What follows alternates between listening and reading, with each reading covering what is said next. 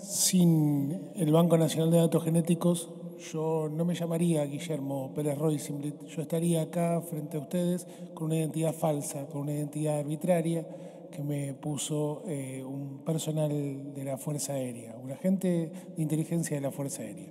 Yo antes de que a mí me encuentren las abuelas, que me estuvieron buscando durante 20 años, junto con también la búsqueda que realizó la CONADI, que es el organismo, es la cara del Estado en la búsqueda eh, de cada uno de los eh, hijos de desaparecidos que fuimos apropiados, tenía otra identidad.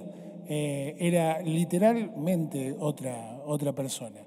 Me hubiese sido imposible incluso sentarme acá y charlar con todos ustedes porque también desconocía qué era lo que realizaba el Banco Nacional de Datos Genéticos y los compromisos que este Estado, eh, que el Estado argentino contrajo frente al resto de lo que es la comunidad internacional. ¿no?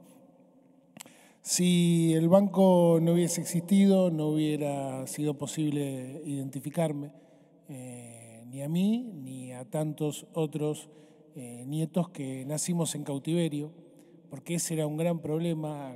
Uno de nosotros fuimos secuestrados, ya nacidos eh, al momento, eh, y había fotos incluso de algunos de nosotros siendo, siendo bebés.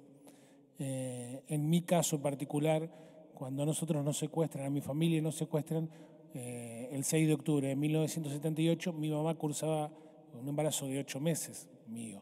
Entonces no había manera de que a mí mi familia me, me pudiera reconocer, independientemente de que las sobrevivientes de, lo que es la ESMA pudieron dar testimonio de que cuando había nacido yo, qué sexo tenía, mi apariencia física, nunca me hubieran podido encontrar, mi familia no me hubiera podido encontrar.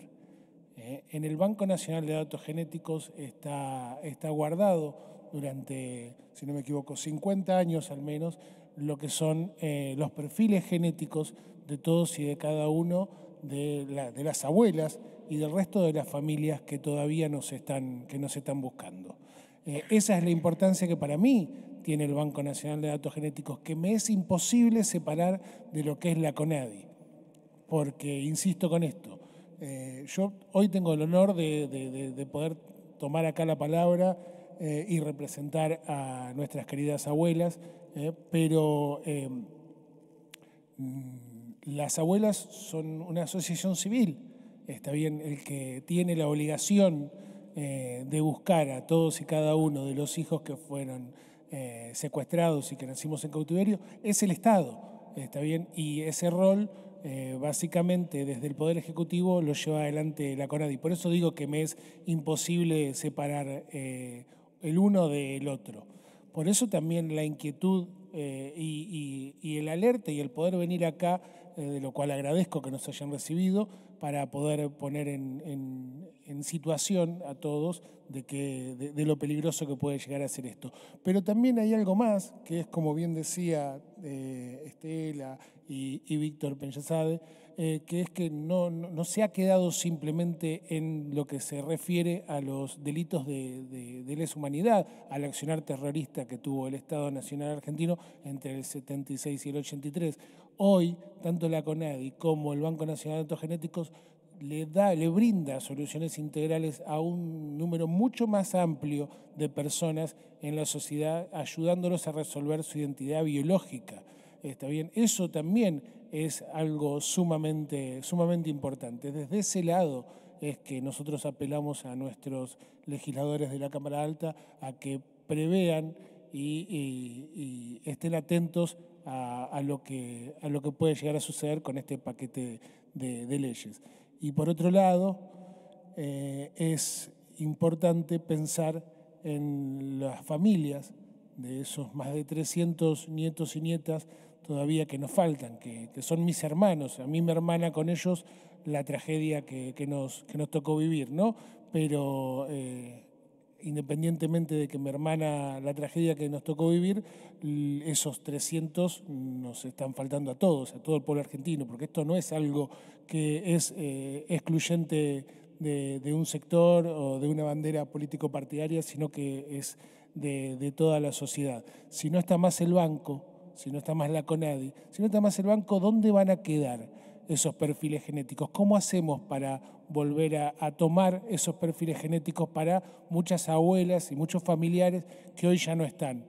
¿Qué va a pasar con esos perfiles genéticos? ¿Dónde se van a guardar si el banco de datos genéticos ya no está? ¿Qué pasa con esa búsqueda? Queda trunca. 47 años llevan nuestras abuelas buscándonos. Queda trunco, simplemente. ¿Por qué, si algo que está, ¿Por qué algo que está funcionando lo tenemos que desechar? ¿Qué necesidad hay? ¿Mm? ¿Qué pasa con el día de mañana?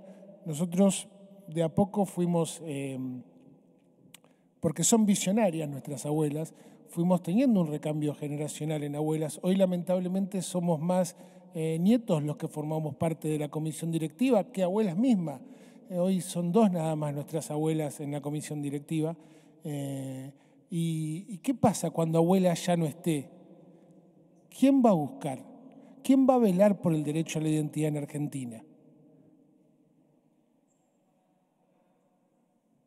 Esa es, mi, pregunta que yo les hago a ustedes. Es lo que yo intento y nosotros estamos intentando hacer desde, humildemente desde, esta, desde esta exposición.